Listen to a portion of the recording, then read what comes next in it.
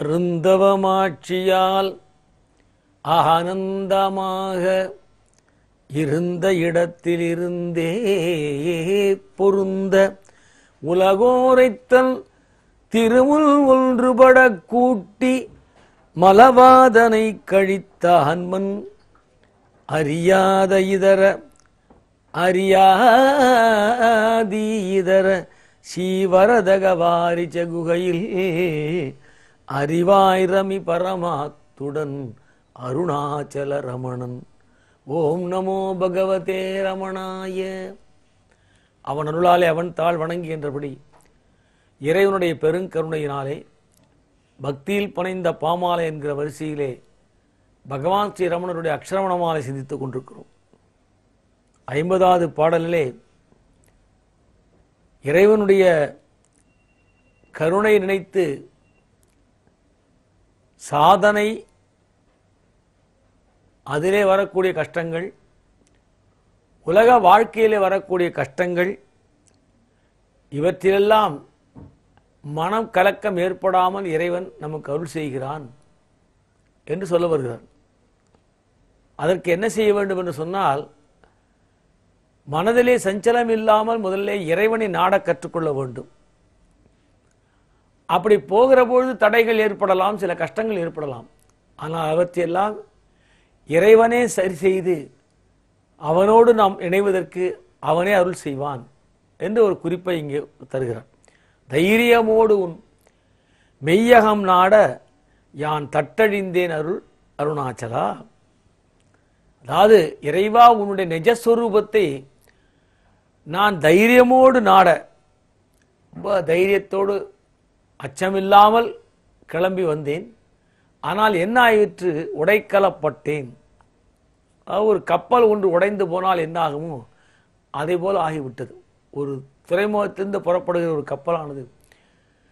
போய் சேர வேண்டிய இடத்திற்கு போகாமல் நடுவிலேயே அது ஏதாவது ஒரு ஆபத்திலே மூழ்கி அல்லது எங்கோ இடித்தோ உடைந்து போய்விட்டால் என்னாகுமோ? அதே போல் ஆகிவிட்டது. நாசமானேன். அதனால இறைவா என் மீது தயை கொள்ள வேண்டும். அதாவது என்னுடைய ஆணவ பிழையை பொறித்து உன்னுடைய சொரூபத்தை காண்பதற்கு நீ அருள் செய்ய வேண்டும் என்று கேட்கிறார். ஆணவத்தினாலே ஏற்படக்கூடிய பிழை. அதனாலே இந்த கப்பலானது நொறுங்கி போய்விடுகிறது. நான் நாசமாய் போய்விடுகிறேன். அப்படிப்பட்ட ஒரு நிலை இல்லாமல் என்னை காப்பாற்று என்று தைரியமோடு கிளம்பி விட்டாலும் கூட மனதில் இருக்கிற அச்ச உணர்வோடு பேசுகிறார். அப்பர் பெருமான் திருவொற்றியூர்க்கே வந்து இறைவனை கேட்கிற பொழுது அருமையாக இப்படி ஒரு கேள்வி கேட்பார். இறைவா நீ எனக்கு மனம் என்கிற ஒரு தோணியை கொடுத்தாய். அந்த மனம் என்கிற தோணியை ஓட்டுவதற்காக மதி அறிவு என்று சொல்லப்படுகிற ஒரு அருமையான உடு அந்த துடுப்பையும் கொடுத்தாய். ஆனால் நான் என்ன செய்தேன்? ஆணவத்தினாலே காமம் குரோதம் முதலிய விஷயங்களை எல்லாம் அந்த படைகளை ஏற்றி அதனாலே அதிகமான இந்த பாரத்தினாலே இந்த படகு தடுமாறி மதம் என்கிற அந்த பாறையிலே போய் இடித்து விட்டது. அப்படிப்பட்ட நேரத்திலே இறைவா உன்னை நினைத்து அதனாலே இந்த ஆபத்திலிருந்து காப்பாற்றிக் கொள்ளக்கூடிய ஒரு அருளை தர வேண்டும் என்று கேட்பார். மனமேனும் தோணி பற்றி மதி என்னும்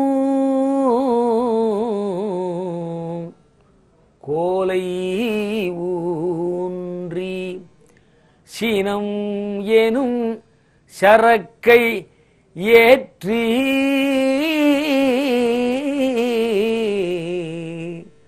செறிகடல் ஓடும் போது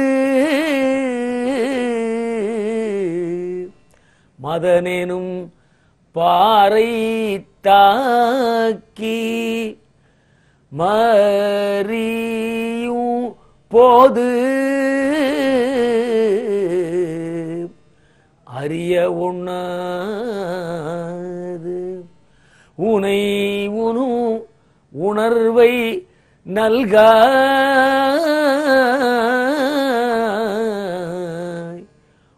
ஒற்றியூர் உடைய கோவே.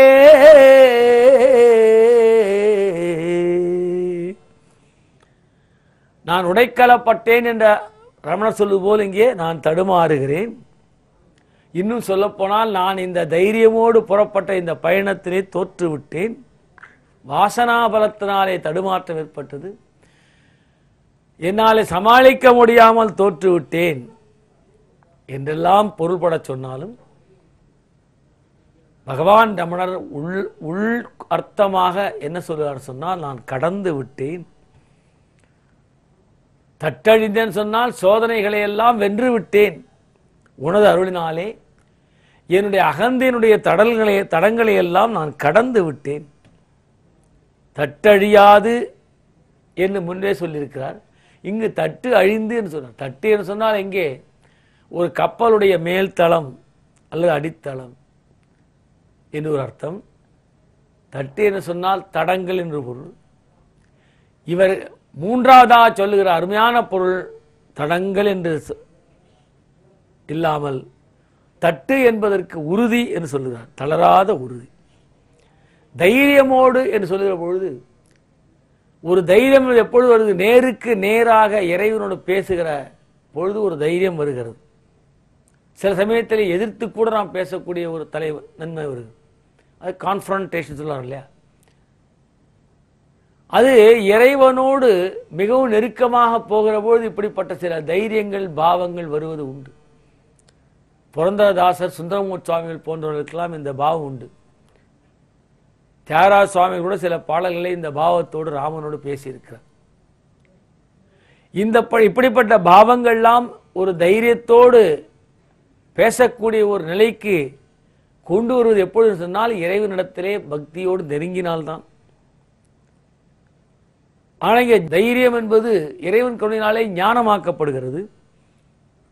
ஜீவபோத முனைப்பாக முதல்ல தைரியம் இருந்தது. ஆனால் இறைவனுடைய கருணையினாலே அது ஞானமாக மாற்றப்படுது. அதனால் ஆணவ முனைப்பு என்பது அடங்கி அருள் வழியை முன்னிட்டு கொண்டு ஆண்டவனுடைய பதத்தை அறிந்து அடைய வேண்டும் என்று இங்கே சொல்ல வருகிறார். நாம் போகிற வழியிலே தடங்கள்னு சொன்னா என்ன அர்த்தம் என்றால் நாம் ஒரு ஆத்ம விசாரத்தில் ஈடுபடுகிறோம். அல்ல ஒரு ஆன்மீக பயணமாக இறைவனை அடைதல் என்கிற ஒரு நெறியிலே நாம் போய் கொண்டிருக்கிறோம். அப்பொழுது நாம் என்ன செய்ய வேண்டும் சொன்னால் நமக்கு ஏற்கனவே இருக்கக்கூடிய எண்ணங்களை எல்லாம் போக்கிக் கொண்டே வர வேண்டும். இந்த வாசனைகளை ஒழித்து கொண்டு வர வேண்டும். ஆனால் நாம் என்ன செய்து விடுவோம் சமயத்திலே? புதிய எண்ணங்களை புதிய வாசனைகளை பூத்தி கொள்வோம். அதனாலே பயணமானது தடைப்படுகிறது. சில சமயத்தில் நாம் ஒப்பிட்டு பார்த்து கூட இப்படியெல்லாம் செய்யலாம் என்கிற எண்ணங்கள் கூட வந்துவிடும். நம்முடைய பகவான் ரமணனிடத்திலே குஞ்சு சாஸ்திரின்னு ஒரு இருந்தார். அவர் நிறைய சாஸ்திரங்கள்லாம் படித்தவர். அவருக்கு என்னென்னா நிறையா படிக்கணும். நாமும் நிறைய நூல்களை எல்லாம் படிக்க வேண்டுமே நிறைய சாஸ்திரங்களை கற்க வேண்டுமே என்று ஆசை. அதனாலே பகவான் ரமணத்தில் போய் சொன்னார் நான் சில ஆண்டுகள் சென்று நிறைய சா சாத்திரங்களை எல்லாம் படித்துவிட்டு வருகிறேன். ஏனென்றால் இங்கே எல்லோரும் வருகிறார்கள். அவர்கள் எல்லாம் பொழுது பெரிய பெரிய விஷயங்களை எல்லாம் பேசுகிறார்கள். உபனிஷத்து என்று பேசுகிறார்கள் வேதம் என்று பேசுகிறார்கள் பகவத்கீதை என்று பேசுகிறார்கள். எத்தனையோ விஷயங்களை பற்றிலாம் பேசுகிறார் அவையெல்லாம் எனக்கு தெரியவில்லை. நான் எவ்வளோ படித்திருந்தாலும் எனக்கு தெரியாத விஷயங்கள் நிறைய இருக்கின்றன. அதனால நான் படித்தது போதாது நான் நிறைய படிக்க வேண்டும் என்று சொன்னார். அப்பொழுது பகவான் ரமணர் சிரித்து கொண்டு சொன்னார் நீ இங்கே வந்திருப்பது சாதனைக்காக. அதனால் உனக்கு சாதனைகள் தான் வேண்டுமே ஒழிய இந்த நிறைய படிக்க வேண்டும் என்று நூலறிவை வளர்த்துக் கொள்ள வேண்டும் நினைத்தாயானால் இது எல்லாம் உன்னுடைய சாதனைக்கு தடையாகத்தான் அமையும் என்று சொல்லுவார். அதுக்கு ஒரு அழகான உதாரணம் சொன்னார் நம்முடைய பகவான். இது எப்படி இருக்கிறது சொன்னால் ஊரில் இருக்கிற குப்பைகளை எல்லாம் கொண்டு வந்து உன்னுடைய அறையிலே போட்டுக்கொண்டு பிறகு எல்லா குப்பைகளையும் நான் சேர்த்து பெருக்கி தள்ளுகிறேன் என்று சொல்லுவது போல இருக்கிறது. நீ எண்ணங்கள் தொடங்குகிற இடத்துக்கு போய் கொஞ்சம் கொஞ்சமாக எண்ணங்கள் நீக்கிக் கொண்டே வந்தாயானால் உன்னுடைய உள்ளிருந்தே உனக்கு பதில் கிடைக்கும். உள்ளிருந்து உனக்கு கிடைக்கிற பதிலானது வேத பிரமாணமாக இருக்கும் என்று அழுத்தி சொன்னார் பகவான். அதனால உன்னுடைய தியானம் சித்திப்பதற்கு குருவருள் திருவருள் இரண்டும் வேண்டும். இந்த நூல்களினாலே உன்னுடைய தியானம் சித்திச்சு விடாது. அதனால் இங்கே சாதனை என்று சொல்லுகிற பொழுது தைரியமும் வேண்டும் தன்னம்பிக்கையும் வேண்டும். அதனால தைரியத்தோடு இறங்க வேண்டும் நம்பிக்கையோடு இறங்க வேண்டும். அதனால தைரியமாக ஒரு ந- தன்னம்பிக்கை தருவது எது என்று சொன்னால் அதுதான் சத்சங்கம். புத்தகங்களிலிருந்து தைரியமோ இந்த தன்னம்பிக்கையோ வந்து விடாது. சத்சங்கம் தான் வரும். அதனால வாசனைகளை நாம் சேர்த்து கொண்டு போய்விடுமானால் பிறகு இந்த ஞானம் என்பது அடைய முடியாமல் போய்விடும். நம்முடைய ஜடபரதனுடைய சரித்திரத்தை கூட பார்க்கிறோம். அவர் நிறைய சாதனைகள் செய்தவர் தான் நிறைய ஆற்றல் படைத்தவர் தான் ஆனால் அப்படிப்பட்டவரே என்ன ஆகிவிட்டது? ஒரு மான்குட்டி இடத்திலே தன்னுடைய மனதை கொடுத்து அந்த மான்குட்டியை பற்றியே நினைத்து தன்னுடைய அனுஷ்டானங்களை எல்லாம் விட்டுவிட்டு அதே எண்ணத்தோடு இருந்து மானாக பிறந்தார் என்று பார்க்கிற பொழுது எத்தனையோ சாதனைகளை செய்ய வேண்டும் என்று வந்தால் கூட இடர்பாடுகள் வரும். அந்த இடர்பாடுகளை வெல்லுவதற்கும் இறையுணர்வு வேண்டும். ஆனால் முழுமையாக சரணாகதி முழுமையான நம்பிக்கை என்று இறைவனிடத்திலே அச்சமில்லாமல் வருகிற பொழுதுதான் அந்த உணர்வு ஏற்படும். அதனால் தான் அப்பர் பெருமான் கூட சொல்கிற பொழுது அஞ்சுவது யாதொன்றும் இல்லை அஞ்ச வருவதும் இல்லை என்று. இதை அப்படியே எடுத்துக்கொண்டு நம்முடைய பாரதியார் கூட உச்சி மீது வான் இடிந்து வீழுகின்ற போதினும் அச்சமில்லை அச்சமில்லை அச்சமில்லை என்று முதல்ல அச்சத்துக்கு விடை கொடுக்க வேண்டும் என்று சொன்னான். தைரியமோடு நின். இந்த அச்சம் என்பதை விட்டுவிட்டு தன்னம்பிக்கையோடு இறைவி நாட வேண்டும். அப்படி நாடி செல்கிற பொழுது உலக விஷயங்கள் எல்லாம் நம்மை இழுக்கும்.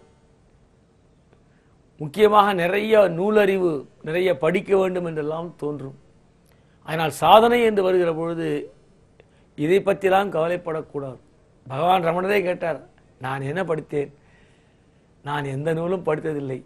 ஆனால் ஆத்ம விசாரம் என்று நான் உள்ளே வருகிற பொழுது எனக்கு உள்ளுக்குள்ளிருந்து வரக்கூடிய விடையானது வேத பிரமாணமாக இருக்கிறத நீங்களே சொல்லுகிறீர்கள் என்று சொன்னான். அதனாலே இறைவனை நாம் தன்னம்பிக்கையோடு தைரியத்தோடு நாடுகிற பொழுது நம்முடைய சாதனைகளுக்கும் நம்முடைய லௌகிக விஷயமாக வரக்கூடிய கலக்கங்களுக்கும் கலக்கங்களினாலே ஏற்படக்கூடிய தடங்களுக்கும் இறைவனுடைய துணையாக வந்து சாதனை செய்வதற்கும் தடங்கள் நீக்குவதற்கும் பேருதி புரிகிறது என்பதை இங்கே பார்க்கிறோம். தைரியமோடு முன் மெய்யகம் நாடையான் தட்டணிந்தேன் அருள் அருணாச்சல அருணாச்சல சிவ அருணாச்சல சிவ அருணாச்சல சிவ அருணாச்சலா. அடுத்த பாடலிலே இறைவன் ஸ்பர்ச தீட்சை கொடுப்பதை பற்றி அழகாக பேசுகிறார். தொட்டு அருள் கை மெய் கட்டிடா எனில் யான் நட்டமாவேன் அருள் அருணாச்சலா. இறைவனிடத்திலே ஸ்பரிச தீட்சை பெறுவது குருவிடத்திலே ஸ்பரிச தீட்சை பெறுவது என்பது பேரருள். நீ உன் அருட்கருத்தினாலே என்னை தொட்டு தழுவாவிட்டால் நான் அழிவேன். உன் ஸ்பரிச தீட்சை கிடைக்காவிட்டால் நான் அழிந்து போவேன். இரண்டால் ஸ்பரிச தீட்சை என்பதுதான் பக்குவம் தருவது. ஸ்பரிச தீட்சை என்பதுதான் மோட்சம் தருவது. அதனால் உன்னுடைய ஸ்பரிச தீட்சை இல்லாவிட்டால் நான் அழிந்து போவேன்.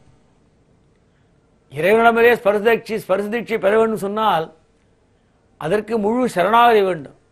பக்தனுடைய நிலையை பார்த்தோமானால் இவன் முழுமையாக இறைவனிடத்திலே தன்னை ஒப்படைக்க வேண்டும். சரணாகதி.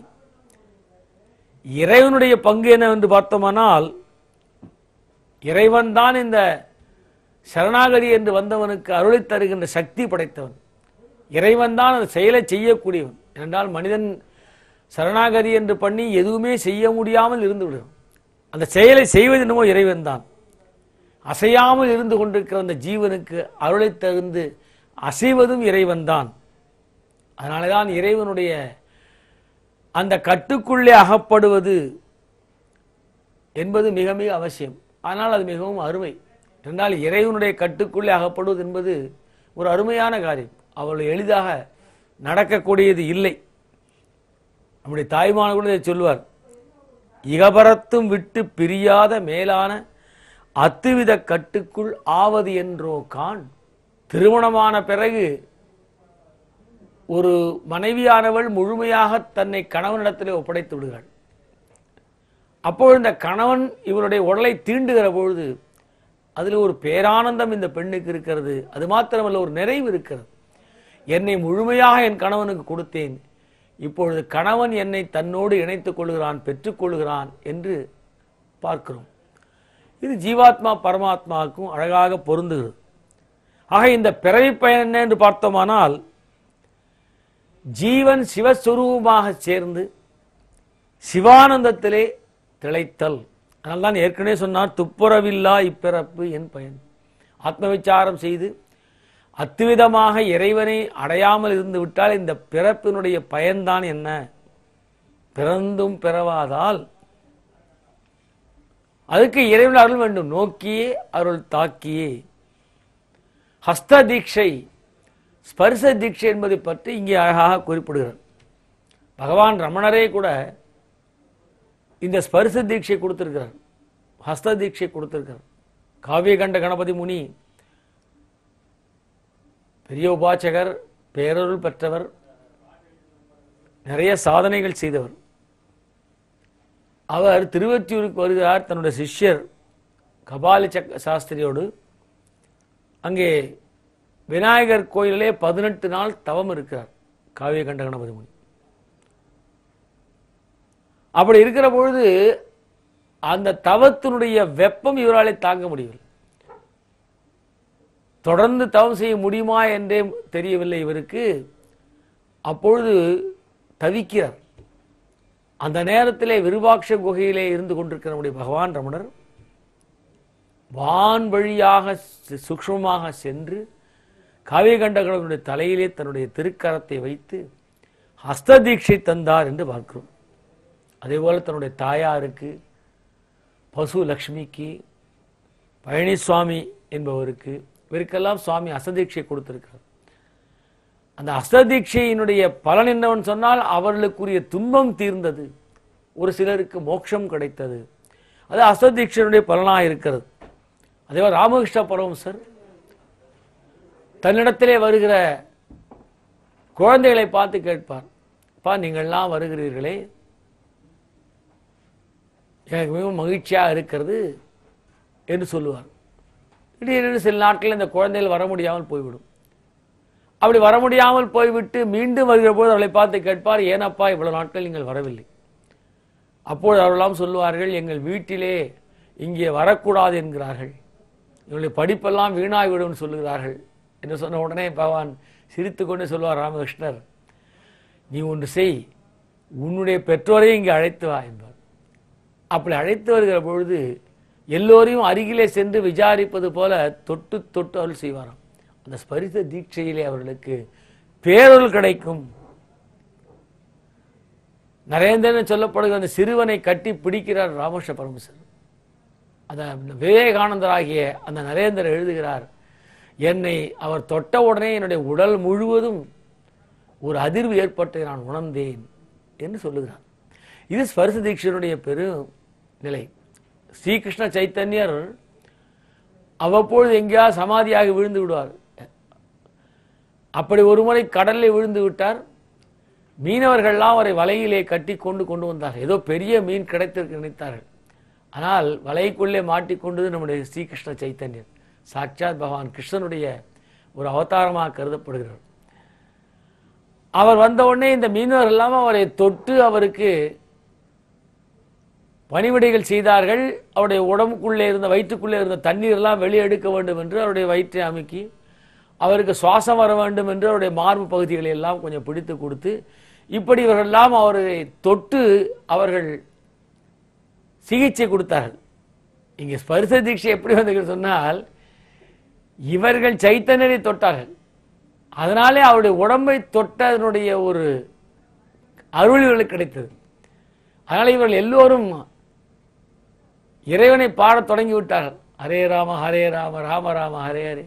ஹரே கிருஷ்ண ஹரே கிருஷ்ண கிருஷ்ண கிருஷ்ணா ஹரே ஹரே என்று இறைவனுடைய நாமங்களை சொல்லி பஜனை செய்ய ஆரம்பித்து விட்டார் அப்போது அந்த மீனவர் குடும்பத்தை சேர்ந்த பெண்கள் எல்லாம் ஐயோ இவரெல்லாம் கடலுக்கு போய் மீன் பிடிக்கவில்லையே. இவரெல்லாம் இப்படி ஆகிவிட்டார்களே என்று சொன்னபொழுது அதற்கு காரணம் என்ன என்றால் ஸ்ரீகிருஷ்ண சைத்தனுடைய உடலை தொட்டு அந்த ஸ்பரிசம் கிடைத்ததினாலே அந்த நிலையிலேயே இவர்களுக்கு ஸ்பரிச தீட்சை கிடைத்து விட்டது என்பதாக அங்கே நாம் பார்க்கிறோம். அதனால் நட்டமாவேன் அருணாசனம் என்கிறார். நட்டமாவேன் அருள் அருணாசனம் சொன்னால் இந்த பிறப்பு என்பதே நட்டமாகிவிடும். இந்த பிறப்பு என்பது எப்பொழுது லாபமாகும்? இந்த பிறவி எப்பொழுது பயனுடையதாகும் என்று சொன்னால் இறைவனுடைய கருணை பெற்றால்தான் மீண்டும் பிறவாத நிலைக்கு வந்தால்தான் மோட்சம் என்பது கிடைத்தால்தான் என்று பார்க்கிறோம். இதற்கு அடிப்படையாக இருப்பது ஹஸ்த தீட்சை இறைவனுடைய தீட்சை. இறைவனுடைய அற்புதமான அருள் கரத்தினாலே நம்மை தொடுகின்ற அருள். மணிவாசக பெருமானுடைய வாழ்க்கை சரித்திரத்திலையும் நாம் அதை பார்க்கிறோம். அவர் தென்னவன் பிரம்மராயன் என்கிற பட்டத்தோடு ஒரு பெரிய அமைச்சராக இருந்தவர். வாதவூரார் என்று அப்பொழுது அவருக்கு பெயர். அப்பொழுது பாண்டியன் அவரிடத்தில் நிறைய பொருளை கொடுத்து தங்கத்தை கொடுத்து கீழ்க்கரையிலிருந்து குதிரை வாங்கி வா என்கிறார். அப்படி கிழக்கரைக்கு குதிரைகள் வாங்குவதற்காக இவர் போகிறார். அப்படி வேகமாக போகிற பொழுது பெருந்துறையிலே குருமூர்த்தமாக இருந்து கொண்டிருக்கிற சுவாமி இவரை ஈர்த்து விடுகிறார். அங்கே தட்சிணாமூர்த்தி கோலத்திலே இருந்த குருந்தமரத்தடி குருநாதர் இவரை ஈர்த்து விடுகிறார். இவர் திடீரென தன்னுடைய குதிரையை நிறுத்திவிட்டு அதிலிருந்து இறங்கி இந்த பெருந்துறை ஆலயத்துக்கு உள்ளே போகிறார். அப்பொழுது இவருக்கு இறைவனுடைய கருணையினாலே ஹஸ்த தீட்சை கிடைக்கிறது. அந்த ஹஸ்த தீட்சை ஸ்பர்ச தீட்சை கிடைத்த அளவிலேயே இவர் மாசில்லாத மணிவார்த்தைகள் பேசத் தொடங்குகிறார். ஆனால் இறைவன் சொல்லுகிறான் மாசில்லா மணிவார்த்தைகள் பேசியதினாலே இனி நீ மணிவாச்சகன் மாணிக்க வாசகனாகி விடுகிறார் நமசிவாய வாழ்க நாதன் தாழ்வாய் என்று பாடுகிறார் இது அற்புதமான ஒரு தீட்சையினுடைய பலன். இப்படி இறைவன் தீட்சை கொடுப்பதும் ஒரு குருநாதர் தீட்சை கொடுப்பதும் என்பது மோட்சத்துக்குரிய வழியாக இருக்கிறது.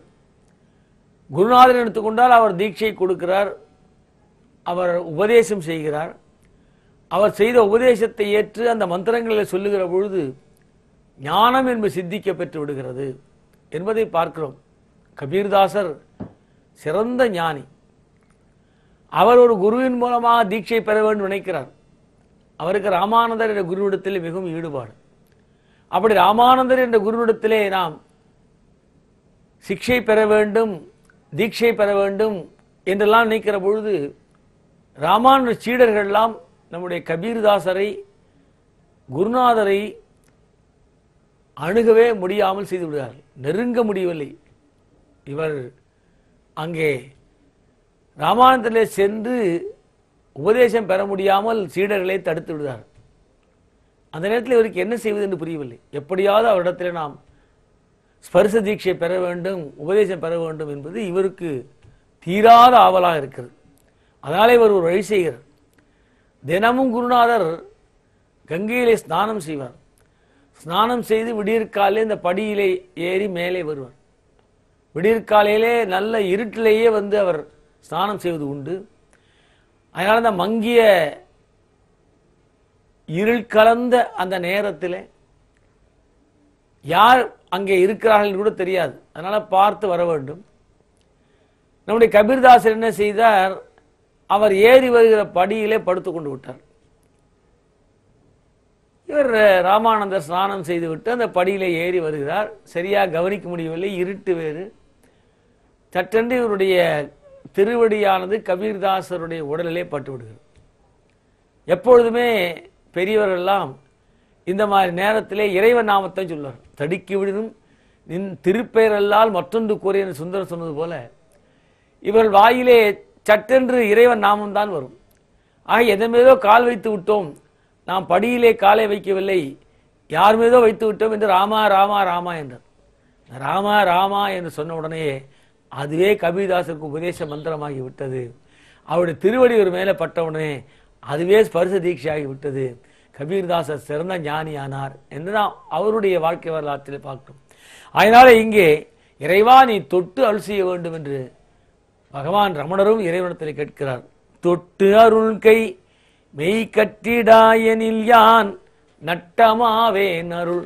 அருணாச்சலா அருணாச்சல சிவ அருணாச்சல சிவ அருணாச்சல சிவ அருணாச்சல.